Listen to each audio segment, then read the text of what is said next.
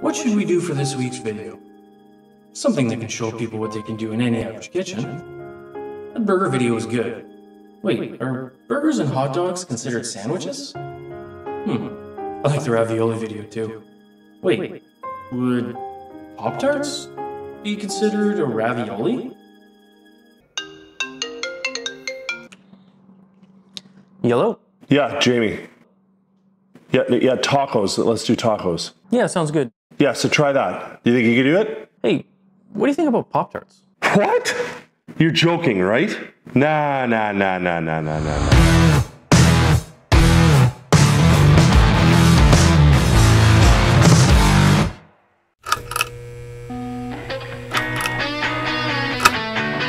Just got off the phone with Jamie.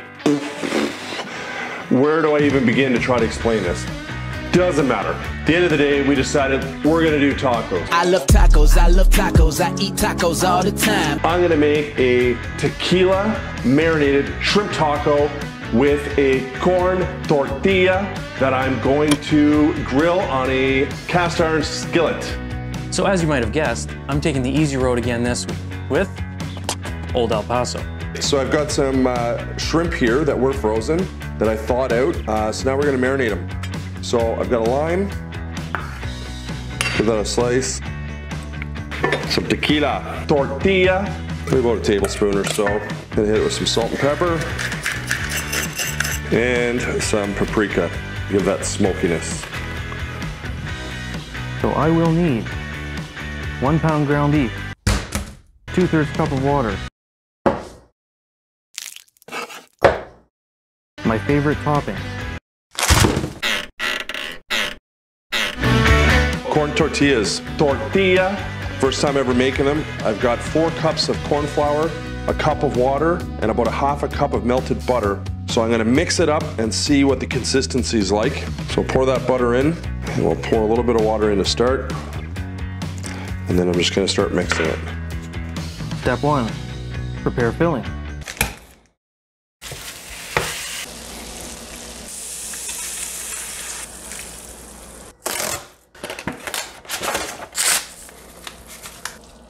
But you can see how there's a nice consistency there.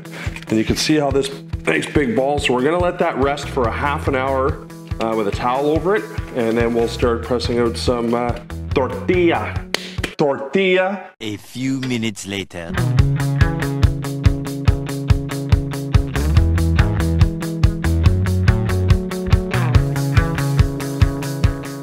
I've got a cast iron tortilla press here, a Ziploc bag that I cut the ends off. I gave it a little bit of a spray with some cooking spray.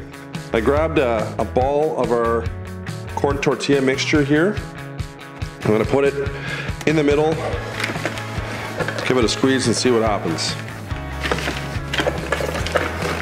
All right, take three on these um, tortillas. I just added maybe a tablespoon of water because I noticed they're a little bit flaky. So we'll see if that helps.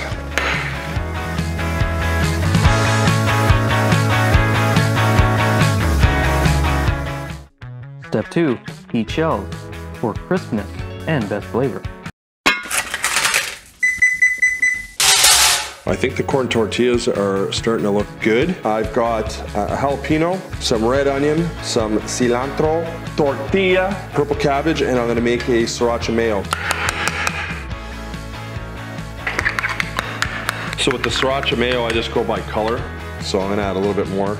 Step three, fill and serve.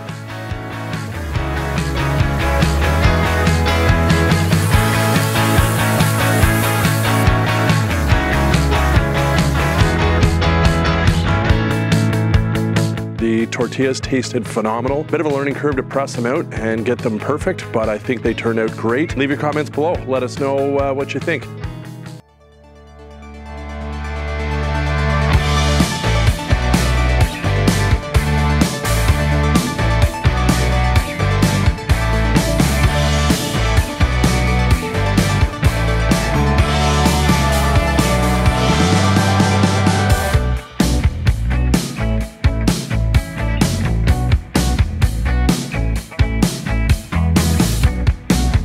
Taco life, baby. The, the beat plug. I I love tacos, I love tacos, I eat tacos all the time. Give me tacos, plenty tacos, only thing that's on my mind. Give me queso, extra cheese, salsa verde, what I need. A tortilla, ground beef, that's the perfect recipe. Hold up, hey, I'm so hungry, yeah, it will fill my tummy up. Quesadillas, enchiladas, now they tortilla,